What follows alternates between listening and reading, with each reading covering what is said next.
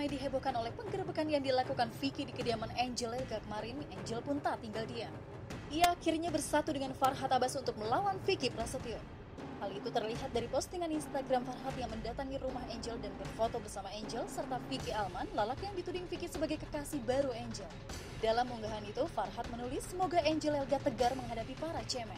Padahal sebelumnya Angel diketahui membela Vicky terkait kasus penipuan yang dilaporkan Farhat soal penggelapan mobil serta pencurian mengenai uang dan berlian 200 juta. Kini saksi Angel beralih menjadi saksi kunci atas kasus tersebut. Alasan Angel tetap diam dan tak bicara di media sosial mengenai kasus penggerebekannya itu akhirnya terungkap. Ya, bener atau enggak? Tahu siapa kamu? Bener atau enggak? Bener atau enggak Pak Bu RT? Jam segini ada Buktikan, Enggak, bener atau enggak? RT? Hah? Buktikan. Bu RT bener apa enggak? Enggak. Kamu, Pak, saya hah? buktikan kamu kamu masuk. Iya, iya, kamu yang udah keciduk gimana sih? Bagaimana sih orang Masih mau ngelak aja. Tapi kita? tidak seperti apa yang kamu lihat. Lewat sebuah percakapan Angel dengan seseorang yang tersebar di media sosial, terungkap jika Angel tidak akan bicara karena status pencalonannya didapil.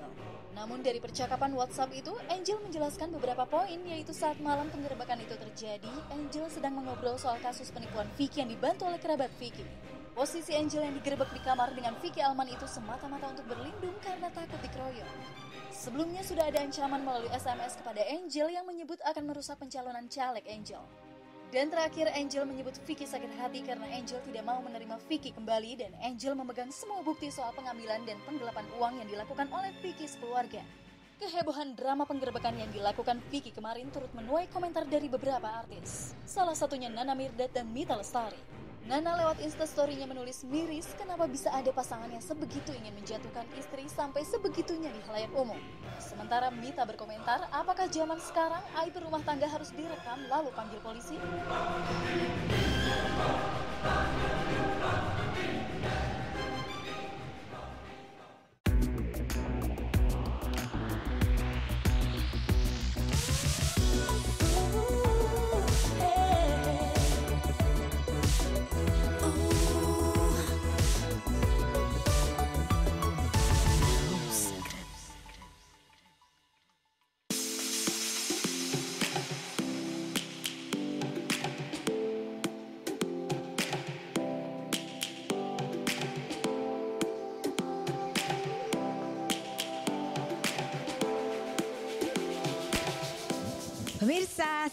Aku Kak Rose ada di kota Wellington, eh, Selandia Baru, berada di depan Wisma Duta. Ini adalah kediamannya Duta Besar Republik Indonesia untuk New Zealand yaitu Pak Tantowi Yahya. Kita mau lihat rumahnya kayak apa sih karena dengar-dengar seru banget pemandangannya. Yuk kita lihat.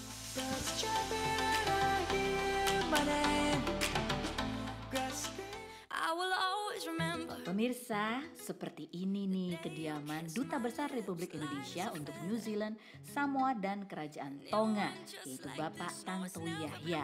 Eh, silakan masuk, kayak di dalam ada acara, jadi kita langsung masuk aja yuk. Ada fotonya, lihat. Wah. Mas Tanto sama mantan Presiden Soeharto. Coba kita lihat keluar ada apa? Kamu lagi di mana sih ini? Saya ada di New Zealand, Selandia Baru, lebih tepatnya lagi adalah di Wellington. Mm-mm, merayakan persahabatan antara Indonesia dan eh, Selandia Baru hubungannya selama 60 tahun ini. Kita foto-foto dulu yuk. Boleh Kita dong, foto-foto. ah. Yuk, yuk, yuk. Yuk, yuk, yuk, yuk. Rumah Pak Dubes ini berada di atas bukit. Aduh, pemandangannya indah sekali.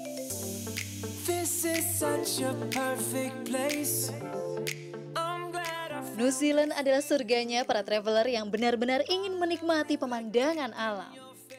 Semenjak dijadikan lokasi syuting film The Lord of the Rings Trilogy, pamor New Zealand semakin menarik di mata traveler. Bagi yang ingin berangkat ke New Zealand dengan budget murah, bisa datang di low season saat musim dingin di bulan Juni sampai Agustus dengan konsekuensi beberapa tempat wisata yang tertutup salju. Selain itu, tiket murah bisa didapatkan dengan membeli rute penerbangan melalui Bali Auckland atau lewat Singapore Auckland. Biaya tiket paling murah bisa mencapai 4-5 juta dengan mengalami dua kali transit dan durasi perjalanan selama 25 jam. Atau bagi yang memiliki budget lebih, bisa menikmati 11 jam perjalanan satu kali transit dengan budget tiket 6-7 juta rupiah. Dan di sini Rumpi akan menyajikan beberapa lokasi wisata New Zealand gratis dan murah yang begitu indah dan sayang untuk dilewatkan. Danau Tekapo. Tempat ini menjadi impian bagi setiap fotografer dan traveler yang ingin menikmati pegunungan berpuncak salju, danau sebiru-pirus, dan gereja mungil cantik. Perjalanan ini bisa ditempuh darat selama tiga setengah jam dari Christchurch atau Queenstown. Dari Auckland, Anda bisa mengambil perjalanan udara selama satu setengah jam ke Queenstown dengan budget tiket sekitar 650 ribu. Dan jika Anda mengambil perjalanan darat dari Christchurch menuju Danau Tekapo, Anda akan mendapatkan bonus hamparan pemandangan White Lupin Flower Farm sekitar 1 km dari Danau Tekapo. Selain itu, jika beruntung, saat malam datang, Anda bisa menikmati aurora atau Milky Way di Danau Tekapo. Danau Pukaki Lokasi ini juga menjadi incaran para traveler dan hanya setengah jam perjalanan darat dari Danau Tekapo. Sepanjang mata Anda akan diberikan pemandangan hamparan danau biru yang indah dengan latar Mount Cook yang bersalju. Air danau ini berasal dari lelehan gunung es yang berada di kisaran satu digit derajat Celcius. Bagi yang melakukan perjalanan dengan camp van atau mobil biasa, tak perlu khawatir karena di sini ada campground gratis yang bisa dinikmati oleh pengunjung. Hooker Valley Trek ini merupakan jalur trekking utama menuju Mount Cook yang dapat ditempuh dengan berjalan kaki selama kurang lebih 3 hingga 4 jam. Jalanan berbukit diiringi suara burung liar dan nuansa alam yang sunyi dan tenang membuat tempat ini layak masuk ke dalam itinerary. Sesampainya di Hooker Glacier Lake, Anda bisa mengambil sudut landscape yang indah untuk memotret Mount Cook dengan lelehan esnya. Anda juga bisa melakukan camping di sekitar White Horse Hill Campground yang berjarak 2,5 km dari Hooker Valley. Di malam hari saya diajak ke gedung yang ikonik di Wellington yaitu The Opera House untuk menyaksikan konser The Symphony of Friendship yang diselenggarakan dalam rangka memperingati 60 tahun hubungan diplomatik antara Indonesia dan New Zealand.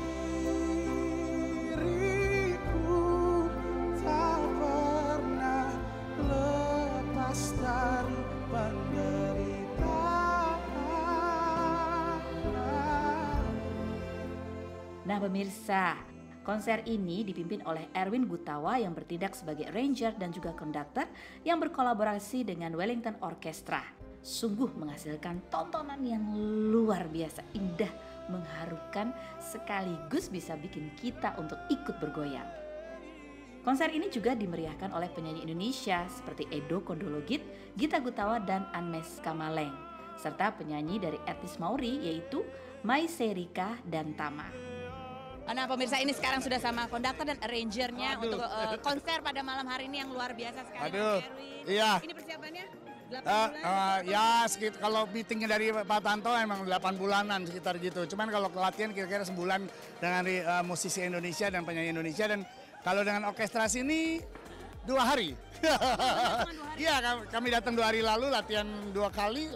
Ya. Aransemen musiknya ini menarik banget terutama Aduh. suka tuh lagu pertama karena itu catchy banget. Nah. Rasa banget Indonesia Timurnya Iya. dan Maorinya. Iya, karena memang ini konsep yang karena emang apa ya eh, konsep dari Tantowi Pak Tantowi bahwa emang kita mau memberikan bukan perbedaannya tapi persamaan eh, karakter musikal, nada-nada, melodi-melodi dan itu yang emang kita mau kasih lihat gitu dan supaya supaya merapat gitu persahabatannya gitu.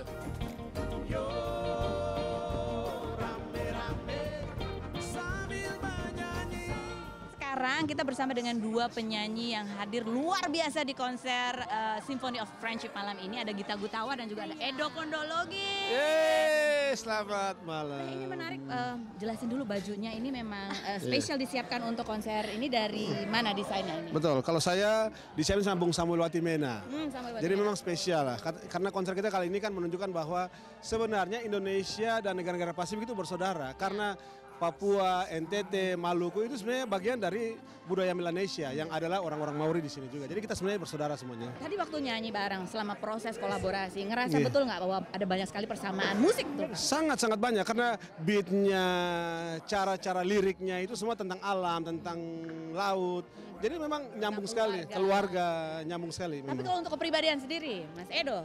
Ah, ya sekarang mungkin udah agak beda lah karena kita Indonesia. I'm Indonesia. man. Mas sendiri tadi kan menyanyikan eh, dua lagu ya, Ya, eh, dua lagu. Bahasa Inggris gitu. Iya, kedapatan lagunya itu kebetulan dua lagu gitu. Tapi gimana eh, komentar kamu sendiri gitu gitu ikut dalam proses da- eh, konser ini? Iya, senang sekali pastinya gitu. Waktu itu lagunya sebenarnya sempat berubah-berubah juga gitu ya, gitu. Mau pesan apa yang mau disampaikan gitu. Tapi akhirnya kita uh, ketemu dengan lagu What a Wonderful World yang dianggap eh, apa ya, mewakili memang acara ini gitu dan terakhir juga ditutup dengan lagu aku sebenarnya itu lagu To Be One. Emang ceritanya tentang perdamaian gitu. Jadi walaupun kita berbeda, walaupun ini tapi sebenarnya akan sangat indah dunia ini kalau misalnya kita bersatu. Jadi mudah-mudahan itu mewakili juga acara hari ini. Eh, tapi apa rasanya Mas Edo eh, berperan serta di dalam? Yang jelas acara ini sangat luar biasa, tapi mungkin yang terpenting saya memberikan apresiasi yang sangat luar biasa tinggi kepada dubes kita, Pak Tonto Yahya, karena ini diplomasi budaya. Ini hal yang sangat jarang dilakukan oleh dubes-dubes kita yang lain. Terima kasih banyak katanya. Sama-sama. Keren banget ya konser ini. Semua yang hadir juga ikut hanyut dengan kemegahan performa para penyanyi dan musik yang ditampilkan. Semoga visi dan misi di balik konser ini bisa berjalan dengan baik ya. Kita masih akan jalan-jalan lagi di New Zealand, tetap di Rumpi Vacation, no secret. Pemirsa, sekarang saya tiba di Queenstown, salah satu destinasi yang wajib dikunjungi kalau pergi ke New Zealand. Dan saat ini saya lagi antri untuk naik kapal dan berpesiar di sepanjang Danau Wakatipu.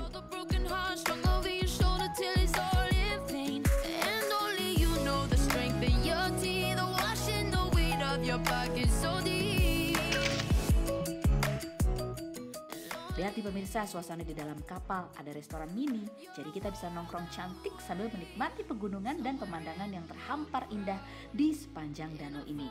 Dan nggak lupa foto-foto dong. Dan sekarang saatnya kita berbincang-bincang dengan Pak Dubes. Tantowi Yahya lahir di Indralaya, Sumatera Selatan pada 29 Oktober 1960. Mengawali karir sebagai resepsionis Hotel Borobudur di tahun 1983, karirnya di dunia hiburan bermula saat Ani Sumadi mempercayakan Tantowi untuk menjadi pembawa acara Gitar Remaja di tahun 1989. Ketika menjadi pembawa acara kuis Who Wants to be a Millionaire selama enam tahun, ia dijuluki sebagai Raja Kuis Indonesia. Selain laris sebagai MC, Tantowi juga telah mengeluarkan enam album country dan dikenal sebagai ikon country Indonesia. Tantowi Yahya menikahi Dewi Handayani dan setelah menanti selama 11 tahun, mereka dikaruniai anak laki-laki bernama Muhammad Ajani Prasana Yahya dan Muhammad Alano Pandita Yahya. Setelah menjadi anggota DPR, di tahun 2017 Tantowi Yahya ditunjuk langsung oleh Presiden Joko Widodo untuk menjadi Duta Besar Republik Indonesia untuk Selandia Baru, Samoa, dan Kerajaan Tonga. Seperti apa kisah selengkapnya? Saksikan hanya di Rumpi Vacation Special New Zealand. Pemirsa, sekarang eh, saya bersama dengan Duta Besar Republik Indonesia untuk Selandia Baru, Mas Tantowi Yahya. Dan kita lagi ngapain sekarang, Mas? Kita lagi berlayar di atas Danau Wakatipu, danau terbesar kedua di Selandia Baru, tepatnya di Queenstown. Kita akan menuju satu pulau untuk melihat atraksi khas dari Selandia Baru yaitu demonstrasi cukur domba. Uh, wah seru Dan dilanjutkan nanti dengan makan siang. Kita boleh ikut nyukur? Boleh, boleh melihat dan boleh nanti ikut mencukur. Nah, aku pertama mau nanya dulu. Kemarin kan eh, baru menyelenggarakan Symphony of Friendship yang luar biasa banget gitu. Mas Sato bisa bisa jelaskan lagi seperti apa sih konsep yang dihadirkan kemarin di Symphony of Friendship? Jadi uh, The Symphony of Friendship itu adalah konser persahabatan yang uh, mengandung misi besar bagaimana kita bisa uh, memasukkan Indonesia dalam komunitas uh, negara-negara di Pasifik yang penduduknya adalah uh, suku Melanesia dan Polynesia. Ini menjadi PR besar karena selama ini Indonesia hanya dikenal sebagai bangsa Asia. Padahal fakta geografis eh, ada lima provinsi di Indonesia bagian timur yang terletak di eh, Pasifik, yaitu Papua, Papua Barat, Maluku, Maluku Utara, dan Nusa Tenggara Timur. Nah, manusia-manusia yang tinggal di bagian ini atau di lima provinsi ini eh, predominantly atau mayoritas itu adalah suku Melanesia dan suku Polynesia. Jadi fakta geografis dan fakta sosial budaya ini membuat kita sah sesah-sahnya menyebut kita sebagai bagian dari bangsa Pasifik dan bagian dari komunitas Melanesia dan Polynesia. Nah, ini adalah sesuatu fakta yang belum kita kapitalisasi secara maksimal. Nah, inilah upaya yang kita lakukan melalui pendekatan budaya, melalui bahasa musik. Karena kami melihat bahwa rasanya lebih mudah untuk membuat masyarakat Indonesia dengan masyarakat Pasifik itu menjadi terhubung kembali melalui bahasa budaya. Dan emang kerasa banget sih kemarin. Begitu ya?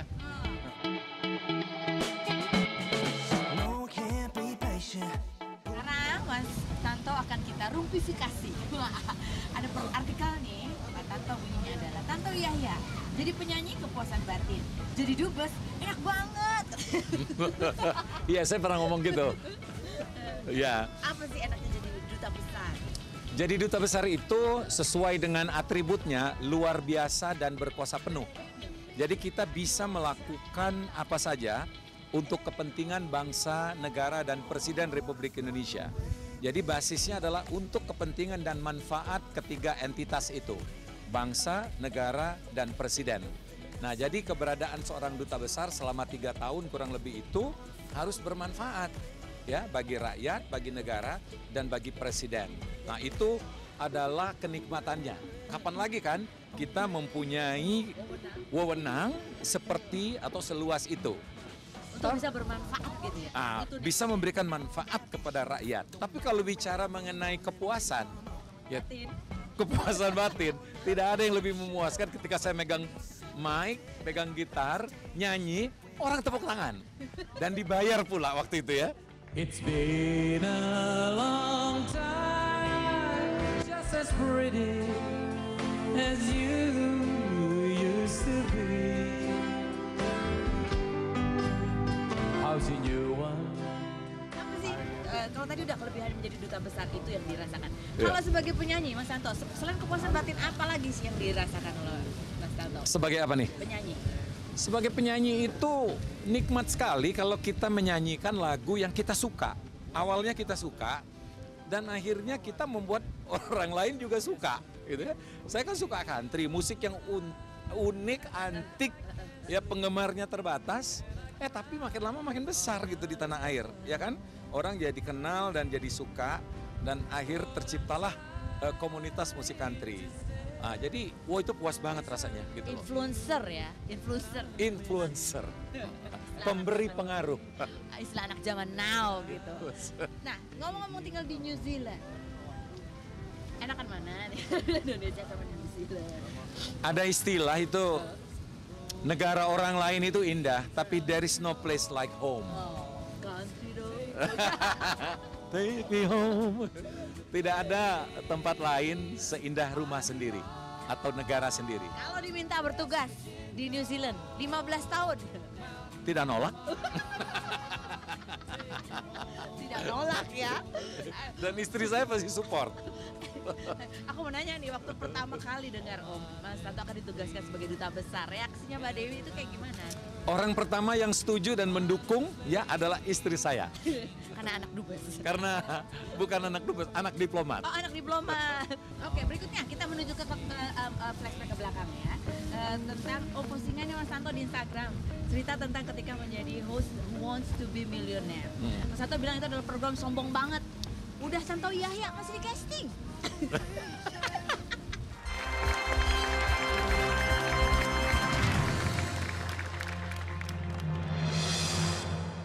Selamat malam saudara, saya Tantowi Yahya. Sungguh berbahagia dapat kembali menjumpai Anda pada malam hari ini dalam suasana penuh bahagia adalah keberhasilan mereka dalam menguasai kebubukan. Nah saudara, pada malam hari ini dengan penuh rasa bahagia, kita kembali berjumpa di Mega Quiz 1 Miliar. Who wants to be? Iya. Tapi waktu itu ya Mas Santo ya. Uh-uh. Mas Santo kan sebagai seorang presenter host yang aduh semua presenter kayaknya melihat tuh dengan uh takjim gitu. Uh. Apa yang membuat Mas Tanto waktu itu udah punya nama sebesar itu masih mau gitu di casting? Lawannya yang junior-junior lagi. Uh, it's a long story, but I'll make it short. Jadi itu acara on air pertama kali 2001. Tahun 2000 saya udah lihat ini di di Washington DC. Ya. Saya lihat terus wih, ada acara sebagus ini. Langsung kontak saya sama acara itu. Gila, ini acara gue banget. Artinya kalau ini di Indonesia harus gue bawa acara ini. Udah, waktu berjalan ya, tiba-tiba saya ditelepon oleh Linda Banowati. Eh mas, pernah nggak dulu kita kita ngobrol-ngobrol, katanya kita cerita-cerita. Mas Tanto kan pengen bawa Who Wants to be Millionaire. Mau masuk nih mas katanya. License-nya. Tapi ada ada ada adanya, ada syaratnya mas apa? Harus casting mas. Apa? Casting. Yang bener Lin, iya casting. No way, no way, no way. Gue bilang ya, keluarlah arogan gue. Ya, Lin, gue bilang gue suka banget acara itu. Tapi kalau gue disuruh casting, enggak. Ya, lu kan udah tahu gue, ya. Ya kalau, apalagi yang lo mau lihat. Kalau lo percaya gue bawa acara itu, ya udah lo ambil gue padanya. Kalau enggak, ya enggak. Gue bilang ya, ya udah. Disampaikan oleh Linda ke produsernya, produsernya Selador dari Amerika. Nah, terus, wah gitu ya. Seladornya bilang begini ke Linda. Bilangin ya sama si Tantowi itu. Bilangin ya. Kalau ya dia yakin dia bagus, dia mestinya diterima di acara ini. Nah, buktikan bahwa dia itu sebagus omongannya. Gila, omongan ini gila banget kan? Challenge gue banget. Jadi gue bilang, benar juga ya. Kalau gue merasa bagus, kenapa gue nggak mau ikut? Gue telepon lagi Linda. Linda, gue ikut audisi. Begitu audisi, audisinya di... Begitu audisi di... Ada 10 host di situ. Siapa aja tuh sebutkan? Tidak usah disebut. Tapi kita seperti menunggu jadwal dokter gigi. Di ruang tamu terus dipanggil satu-satu. Pasien satu-satu kan. Tibalah giliran gue. Entah gimana ya, gue tuh giliran nomor 4. Begitu kok, itu panggungnya udah panggung Who Wants to be Millionaire. Cuman tanpa penonton. Terus sama si produser ini, you are Tantowi. Yes, I am seberang. Show me that you are the best. Gue ke panggung, terus gimana? Kita kan udah kasih bahan. Ya you bawain satu segmen dari Who Wants to be Millionaire. Dasar cinta gue terhadap acara itu. Cinta banget gue sama acara itu. Jadi gue tuh sangat menyelami dan menjiwai. Ketika gue bawain segmen itu, mereka bengong. Wow, dia bilang ya. Pada waktu dia bilang wow itu, gue udah tahu gue bakal kepilih. Terus gue tanya dia, what's next? Dia bilang, don't call, we call. Jam 4, dia telepon gue, Tanto, you are the best. You are in. Wow, wow. Wah, itu adalah satu fase dalam hidup gue yang sangat bersejarah ya. Di mana gue harus ikut sebuah audisi, hal yang paling gue jauhin